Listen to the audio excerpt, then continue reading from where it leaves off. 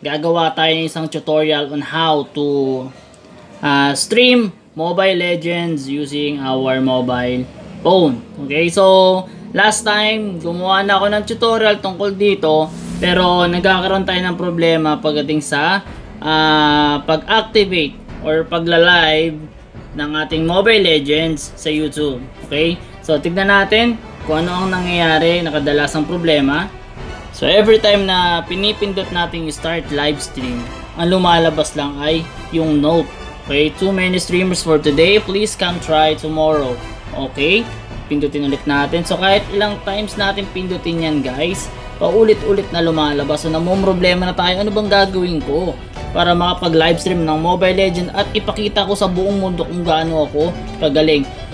Meron akong ipapakita sa inyo guys kung paano makakapag livestream ng Mobile Legend in a different way. So kailangan natin mag-install ng third party. Pero bago yan guys, gusto ko munang humingi ng paumanhin no sa lahat ng manonood ng premiere ko kanina tungkol sa paano tayo mag-pre-premiere ng isang uh, video using our phone. Okay? So pinagpuyatan ko talagang gawin yon pero hindi ako nagising ng eksaktong oras ng aking premiere kaya naman hindi ko talaga na uh, na-entertain yung aking mga bisita. Okay? So uulitin ko. Pasensya na po at babawian ko kayo sa ating uh, premiere ngayon. Okay? So maraming salamat uh, sa mga uh, umattend ulit sa premiere ko kanina. So una, kailangan muna natin mag-install ng isang application na makikita natin sa Play Store. So, click Play Store. Okay? Pagdating sa Play Store, i-search natin ang Stream Labs. Okay, ito na-search ko na siya sa, sa aking uh, Play Store. And then, kung mapapansin nyo, ang kanyang logo ay kulay green. And para siyang may goggles at uh, kitang-kita mo yung kanyang eyes, no? Sa akin, walang installed kasi it is already installed in my cellphone. So, kailangan ko na lang gawin ay i-open. Pero sa inyo, kung hindi pa ito naka-install, i-install nyo na po. Okay, so let's open. Pag na-open natin ang Streamlabs, meron tayong tatlong pagpipilian para makapasok or makalogin sa Streamlabs. Pwedeng sa Twitch, sa YouTube, and sa Facebook. Okay, dahil sa YouTube ko gustong mag-live, ang i-click natin ay yung login with YouTube. Okay, in this part, ilalagay natin yung ating Gmail or email na naka-link sa ating YouTube channel. Okay? Para lahat ng uh, lahat ng gagawin natin or lahat ng mga stream natin using Streamlabs ay mapupunta sa ating YouTube channel. Okay, so pagka login natin sa Streamlabs, ito agad yung makikita natin. Let's get you set up. So, the camera, the screen, and then just click next. Okay? And then ito yung mga widget. So mamaya ipapakita ko rin naman kung ano yung mga, uh, ano yung mga available na widget or mga boxes na pwede natin ipakita sa ating screen while doing the uh, live stream. Okay? So for now, check muna natin yung alert box. Okay? Sa alert box kasi nandyan pumapasok yung mga nagsusubscribe sa atin. So let's click done. Okay, so no capture source added.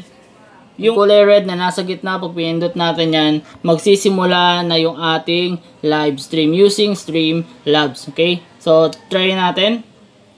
So, meron mga pagpipilian, persistent, active event, upcoming event, and create event. So, ang pipiliin natin dyan yung create event lagi. Okay? So, mamaya na yan, tignan muna natin yung kanyang mga uh, uh, features. So, pag pinindot natin, guys, yung nasa upper left corner, meron tatlong dash. Once na pinindot natin yan, maraming pagpipilian. Pero ang focus muna natin ngayon, yung editor. So, let's click editor. Yung nasa pinakataas left side of our screen.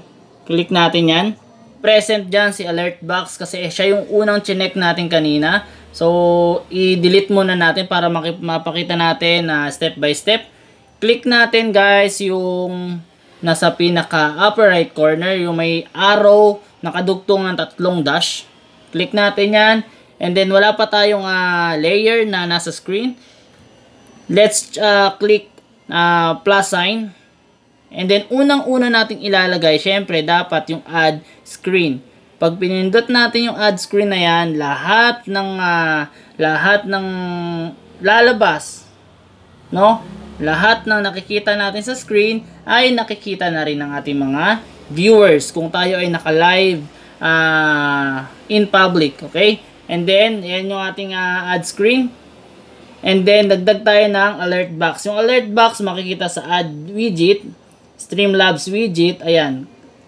Click lang natin yung alert box. Okay, madadagdag na siya sa ating screen.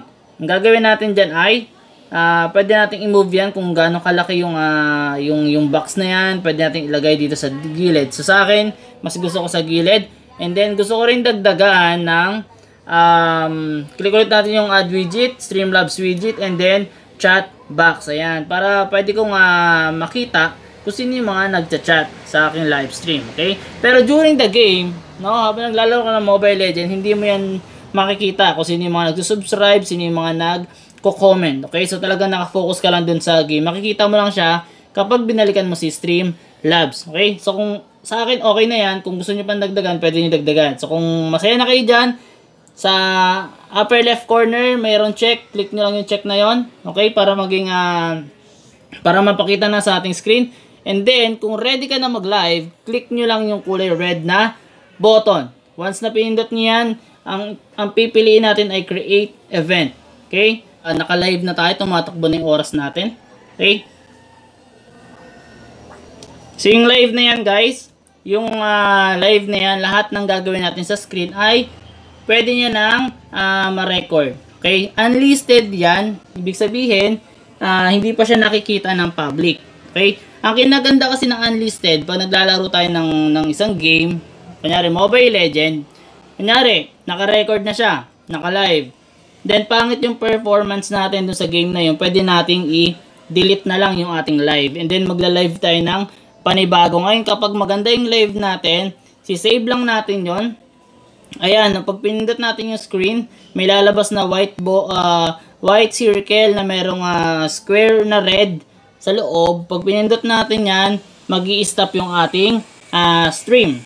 Okay? So, yun yung kinaganda ng unlisted. Pero pag gusto mo naman na i-record lahat ng mangyayari, kahit ano man, kahit uh, nanalo ka man or natalo sa game, okay lang sa'yo, pupunta ka ngayon sa uh, YouTube Studio. Okay? So, hanapin natin sa Google.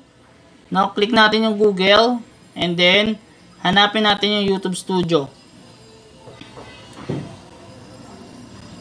Okay, so sa akin, ayan, naka-ano na siya, no? Uh, parang may arrow button na nagsasabi ng video.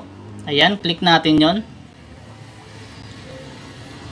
Okay, once na pinindot na natin yan guys, makikita natin yung ating live. So wala yan dyan kasi uploads yan, uploads. Click natin yung live na nasa taas. Ayan. Ayan na guys, so nakikita na natin na my live stream, live from Android using Streamlabs. Ayan, naka-live na tayo. So itong pinapakita ko guys, automatic yan, naka-live na to doon. Pero, ang pinagkaiba niyan, ito ay naka unlisted. Okay? So kung gusto mo siyang i-live agad, no? Kahit anong mangyari sa iyong laro ay gusto mong i-live, click mo lang yung unlisted. Okay, and then click mo yung public. Okay? Once na pindot mo yung public, makikita na ng, uh, ng lahat yung, yung uh, ginagawa, yung, yung nilalaro. Okay?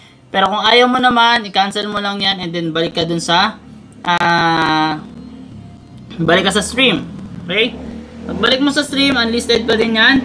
Pwede ka maglaro, pwede mo na simulan yung, yung paglalaro ng Mobile Legend. Okay, so open na natin yan. Ayan. So, nare-record na to guys. So lahat ng mangyayari dito ay naka-record na sa ating live stream. Okay, so mamaya makikita nyo rin yung ating live stream. Okay, so ayan. For example, tapos na tayo maglaro, no? Tapos na tayo maglaro. Balikan natin si live stream. Balikan natin si, si Streamlabs. Ayan. Tapos na tayo maglaro guys ha. Ayaw na natin maglaro. Ibig sabihin, uh, stop na. Gusto ko nang i-end yung stream. Click ko lang ulit to. Okay, so ito na, na-end na natin no, yung ating uh, stream using Streamlabs. Then check na natin guys sa ating YouTube Studio, no? Kung uh, na-upload na ba yung ating uh, live stream. Okay? So click natin yung live na nasa taas katabi ng uploads And then, ayan. So, kung makikita natin, nakalagay pa rin na may live stream. Live from Android using Streamlabs. No, meron siyang 3 minutes and 22 seconds. And, kung mapapansin nyo yung visibility, naka-unlisted. Okay? So, nasa inyo na yung option guys. Kung anong balak nyo gawin dyan. Kung maganda yung laro nyo, pwede nyo i-publish. Click nyo lang yung public.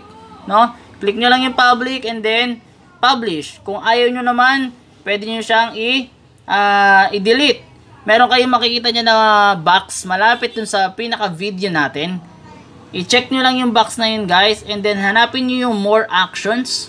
Click natin yung more action then delete forever kung ayaw nyo nung uh, live stream nyo. For example, pangat yung laro nyo doon sa Mobile Legend, pwede nyo i-delete. Okay? Kung gusto nyo namang i-premiere, kunyari napakaganda talaga ng ginawa nyo doon sa live stream na yon click nyo yung uh, click nyo ulit yung unlisted and then schedule.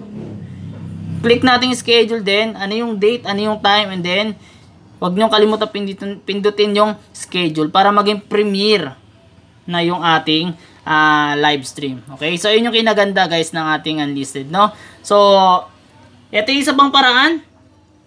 Ito pa isang paraan kung paano tayo makapag-live stream ng uh, Mobile Legend using uh, mobile phone. Siyempre, sa tulong yan ng isang application na tinatawag na Streamlabs. Okay?